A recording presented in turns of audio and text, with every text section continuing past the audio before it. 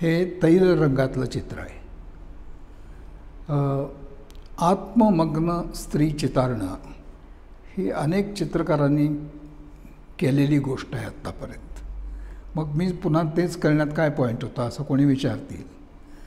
पण हे निमित्त आहे ती फिगर त्याच्यात आहे आत्ममग्न अशी मुलगी आहे. ते निमित्त आहे फक्त.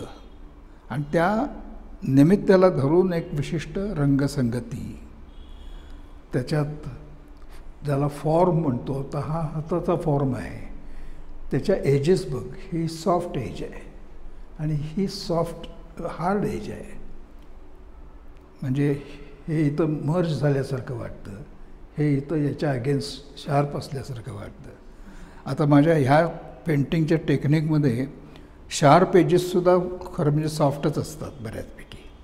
हे याची गंमत आहे खरं म्हणजे ह्या टेक्निकची आणि हा फ्लावर पॉट आता फ्लावर पॉट आपण घरात ठेवलेला बघतो. तो मी तिथं का ठेवला? तर मला इथं सगळीकडे व्हाईट एरियाज हव्या होत्या लाईटर एरियाज म्हणजे ती मुलगी तशी गोरी आहे. पण ती गोरीसुद्धा त्या लाईटच्या समोर डार्क दिसेल. असे मला व्हाईट एरियाज पाहिजे होत्या तो पिंकिश लाइट इथं दिसतो. तो ब्लुईश होतो इथं. इथं पुन्हा व्हाईट होतो पुन्हा ब्लुईश होतो. असं ते त्याच्यात व्हेरिएशन्स मी केलेले आहेत. आणि त्याला बॅलन्स करणारं मला काहीतरी हितं पाहिजे होतं. म्हणून हा लाइट ब्लूचा व्हाईटकडे झुकणारा असा रंग मी या फ्लॉवर पॉटसाठी निवडला आणि त्याच्यातली एक रचना केली. फ्लॉवर अरेंजमेंट केली.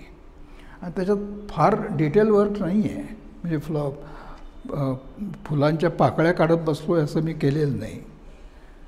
त्याच्या एरियाज लावले आहेत. कुठंतरी ते थोडंसं एखादी पाकळी दाखवली. बाकी नुसत्या ए एरियाज लावलेले आहेत. आणखीन मध्ये टिपके देऊन असे छोटे छोटे पुंज तयार केलेले आहेत फुलांचे. आणि त्याच्यात एक ह्या सगळ्या ओव्हरऑल निळ्या रंगसंगतीला पूरक अशी रंगसंगती मी इथं दाखवलेली आहे.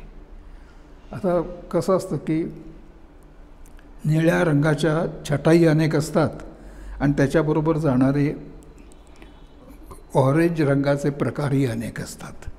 आणि त्या दोन्हीला एक जोडणारा तिसरा रंग असतो तो पिवळा रंग असतो पिंक असतो. तर ह्या रंगांची रंगसंगती मला खूप आवडते. आणि ती ह्याच्यात मी आणण्याचा प्रयत्न केलेला आहे. तसं बघायला गेलं असेल तर ह्याच्यापेक्षा या मुलीचा चेहरा आणि हे थोडे आणि हा फ्लॉवर पॉट ही फुलं ह्याच्यापेक्षा त्याच्यात स्पष्ट अशा गोष्टी फार कमी आहेत. बहुतेक सगळं असं फॉगी फॉगी फॉगी असं केलेलं आहे. एजेस शार्प हार्ड एजेस फार कमी ठेवले आहेत. आणि त्यामुळे चित्रामध्ये एक गूढ रम्यता थोडीशी आल्यासारखी दिसते.